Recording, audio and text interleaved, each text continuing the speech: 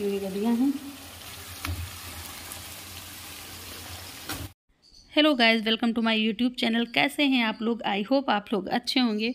तो यहाँ पर मैं लेकर आ गई हूँ गदिया गदिया की सब्ज़ी। और यार, ये मुझे लगता है कि शहरों के मार्केट में गदिया जल्दी नहीं मिल पाती। मुझे तो आज तक नहीं मिली। ये गदिया जो है वो मेरे गाँव से आई हुई थी तो मैंने सोचा कि चलो क्यों ना मैं रेसिपी शेयर करूँ। और हाँ मुझे ये यूट्यूब पे भी इसकी कहीं रेसिपी नहीं मिली। तो मैंने अपने आप ही इसको मतलब अपने मन से ही बनाया था। लेकिन सब्ज़ी यार इतनी टेस्टी थी, बहुत टेस्टी बनी थी। तो मैंने सोचा क्यों ना चलो मैं आप लोगों से इसे शेयर कर देती हूँ। तो मैंने सबसे पहले जो गदिया थी, उसको मैंने दो पार्ट में कट कर लिया था।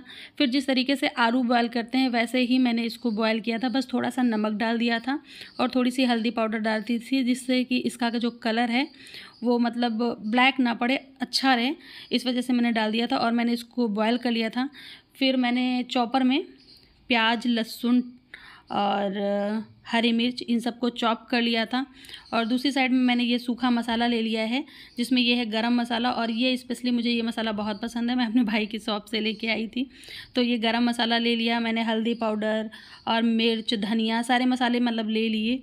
और फिर कढ़ाई में तेल रखा। तेल में हमने सबसे पहले जो चॉप किया था, ये पूरा मसाला, वो मैंने इसमें डाल दिया। और दूसरी साइड में जो, इसमें थोड़ा सा जो पानी मतलब मैंने चॉपर में डाला, वो अपने मसाले में डाल दिया। ये देखिए।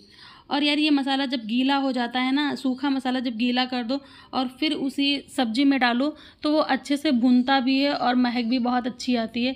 बहुत अच्छे से भुन जाता है तो सब्ज़ी काफ़ी टेस्टी बनती है। तो यहाँ हम सबसे पहले ये प्याज और लहसुन, ये सारा सब कुछ जो है वो अच्छे से भून लेंगे। और फिर चलते हैं, हम ये मसाला जो है, ये भी डाल देंगे इसमें।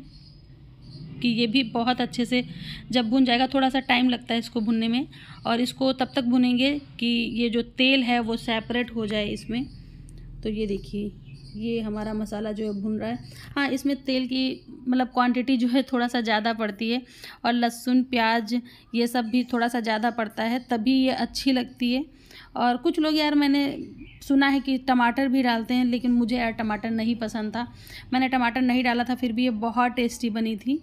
तो मैंने टमाटर इस वजह से नहीं डाला था। मतलब मैंने गाँव में ही पूछा था तो सबने बताया कि टमाटर भी डाल सकते हो, लेकिन मैंने नहीं डाला था। मुझे अपने आप ही लगा कि मुझे थोड़ा सा नहीं पसंद आएगा। तो ये देखिए, ये मसाला जो है वो अच्छे से भुन गया है। देखिए, तेल जो है वो पूरी तरीके से सेपरेट हो गया है। अब इसमें हम डाल देंगे जो हमारी बॉयल की हुई गदियाँ हैं, उनको भी हम डाल देंगे। और ये रही हमारी गदिया। बॉयल की हुई तो इनको भी हम चलते हैं। अब इस मसाले में डाल देंगे और इसको भी खूब अच्छे से भुनेंगे, क्योंकि सब्ज़ी जो है वो जितनी अच्छे से भुनी होती है, उतना ही टेस्टी लगती है। तो इसको भी अच्छे से भून देंगे, जिससे कि जो मसाला है वो इसके अंदर तक पहुँच जाए। और बस इसकी सिंपल सी रेसिपी है, बहुत ज़्यादा मतलब नहीं लगता है टाइम लेकिन हाँ ये है कि इसमें जो मसाले पड़ते हैं, वो थोड़ा सा ज़्यादा क्वांटिटी में डालूँ तो अच्छा रहता है। तेल वगैरह भी ज़्यादा क्वांटिटी में पड़ता है तो अच्छी लगती है ज़्यादा सब्ज़ी। तो इसी भी मैंने अच्छे से भून लिया है, और उसके बाद यार इसको रोटी, पराठा, चावल, चाहे जिस भी चीज़ के साथ खाओ, और हाँ ये लास्ट में मैंने नमक डाल दिया है, क्योंकि नमक मैं भूल गई थी, आप चाहो तो पहले भी डाल सकते हो। तो यहाँ पे हमने नमक भी डाल दिया है, और अब हम अच्छे से इसको मिक्स कर लेंगे, और बहुत अच्छे से भून लेंगे।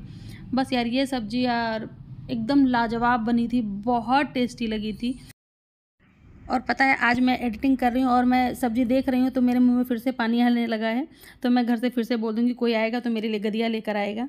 तो बस अगर आपको हमारी गदिया की रेसिपी अच्छी लगी हो तो प्लीज़ लाइक कीजिए, हमारे चैनल को सब्सक्राइब कीजिए। तब तक के लिए बाय बाय टेक केयर मिलते हैं नई रेसिपी